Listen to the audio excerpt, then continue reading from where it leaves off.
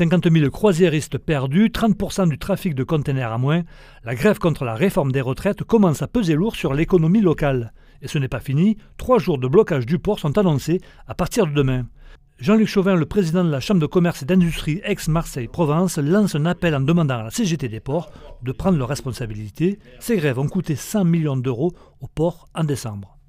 Il y a un appel solennel que je fais aujourd'hui à la CGT des ports, à l'ensemble de la CGT des ports, qui est, je crois, consciente de ce sujet, c'est que poursuivre ces mouvements de grève durs, de blocage, alors que euh, notre économie va forcément perdre des emplois et ça va favoriser des ports étrangers, serait probablement irresponsable.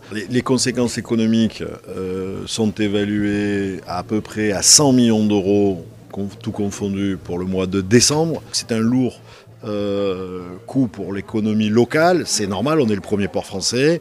Donc on a mis en place depuis vendredi une cellule d'accompagnement, d'urgence d'accompagnement des entreprises les plus impactées. Certaines ont baissé, ont vu leur chiffre d'affaires baisser de 67% sur cette période. Le temps ensuite pour rattraper les places perdues sur les conflits importants systématiquement est de l'ordre de 5 à 6 ans. Pour revenir au même niveau, il ne faudrait pas euh, que pour, un mouvement certes important, on anéantisse tout ce travail.